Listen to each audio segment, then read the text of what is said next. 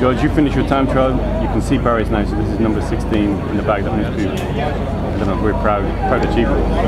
Yeah, I mean the tour is the hardest, in my opinion, the hardest sporting event in the world.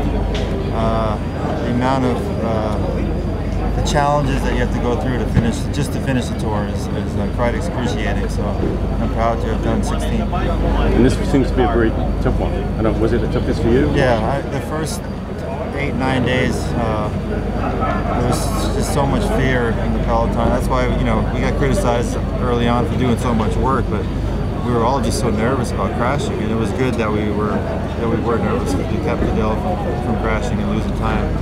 Um, I think we rode a good tour so far. You rode with Lance a lot. What's it like to ride with Cadel in a winning situation?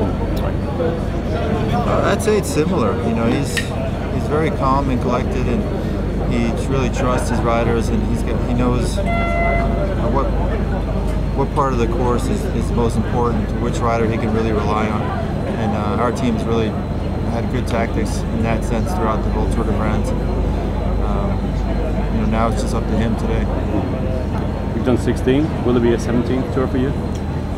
I want to get through this one and then decide. Yeah, the tour is so hard. Uh, it's, it's definitely quite possible to be 17. Or could you ride a season and not do the tour, or or not? No. I don't know. That would be difficult. Yeah, uh, you know, I, when, once you get here in the big show, I know that it'd be. If I wasn't here, it'd be really tough. If I was still racing, to be away from it.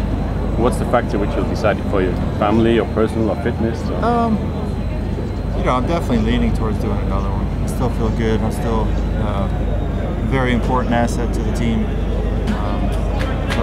I did my job uh, to the best of my abilities throughout these last three weeks, and it was very important for the team. So if I continue to ride like that, then there's no reason why I shouldn't.